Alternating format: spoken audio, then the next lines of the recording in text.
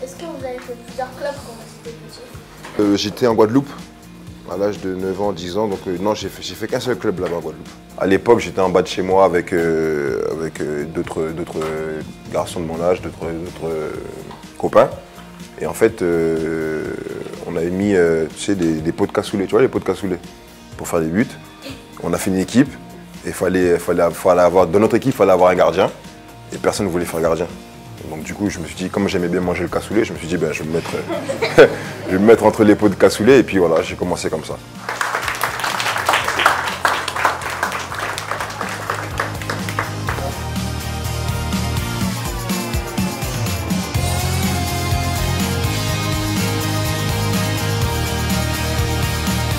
On a fait des- des entraînements de précision, de rapidité aussi, et de quand il faut plonger en rapidité et bien bloquer la balle.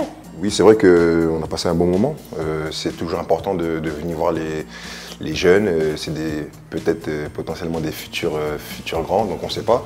Mais c'est vrai que c'est toujours un bon moment de passer euh, avec eux. Oui, c'est impressionnant. Et euh, c'est bien parce qu'ils nous apprennent plein de choses et il faut bien les écouter. Bah, c'est un gardien impressionnant.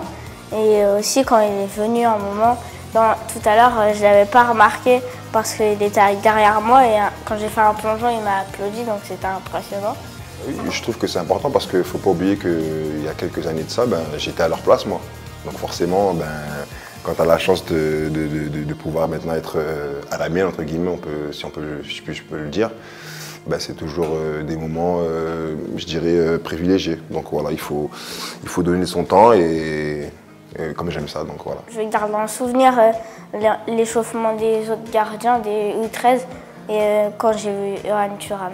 Oui, c'était, un beau moment de, de détente, on a, on a bien rigolé j'aime bien partager ce genre de moments-là avec les jeunes et j'espère qu'il y en aura d'autres.